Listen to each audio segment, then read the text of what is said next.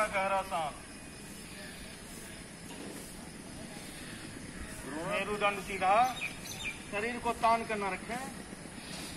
सिर्फ़ मेरुदंड सीधा, सीधे बैठे सर को ना ऊपर उठाना, ना नीचे झुकाना है। सर को सामान में रखना है पूरा गहरा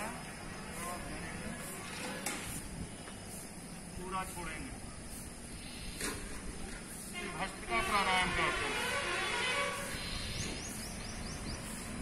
हमारे शरीर में ऑक्सीजन जो है वही प्राण वायु, प्राण जो है, जिसको हम प्राण कहते हैं, वो ऑक्सीजन है। ये आना जाना रुक गया आदमी।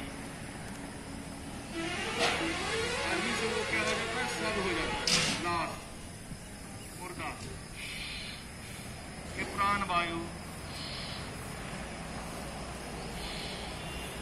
मन में ये भाव धारण करें।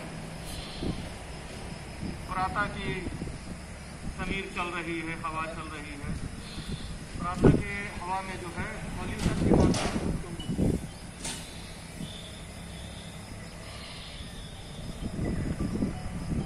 सांस से भरपूर जब हम ऑक्सीजन लेते हैं तो हमारे सारे जो है सेल्स जो है, वो सक्रिय हो जाते हैं।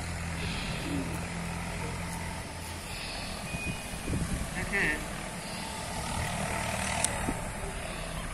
हमारे शरीर में अरबों खरबों सेल्स होते हैं जिनसे ये शरीर बना होता है। शरीर का जो सबसे सूक्ष्म ये सबसे सूक्ष्मतम जो अवयव है, उसको सेल कहते हैं कोशिका।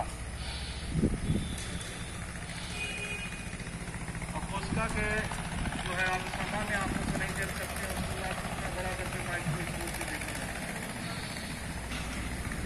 और उसके अंदर जो है जीव द्रव्य माइटोकॉन्ड्रिया जिसको कहते हैं, वो भरा हुआ रहता है। उसका से टिश्यूज का निर्माण होता है उत्तक का निर्माण होता है